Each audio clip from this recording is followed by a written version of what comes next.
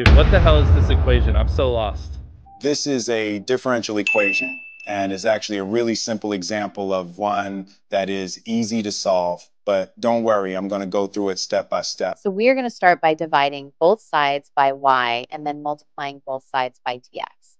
Now this means that we have separated the variables as in all the dx and x terms and the dy and y terms are on the same side. Now, once we've done this, we can actually just go ahead and integrate both sides. So now you just got to do some basic integration, which I know you can do. Yes, I remember how to do this.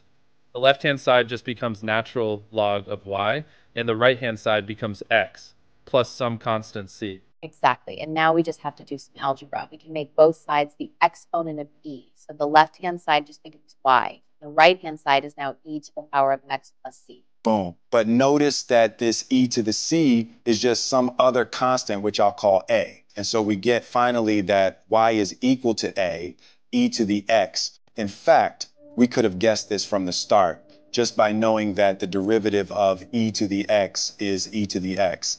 But now I hope you're no longer asking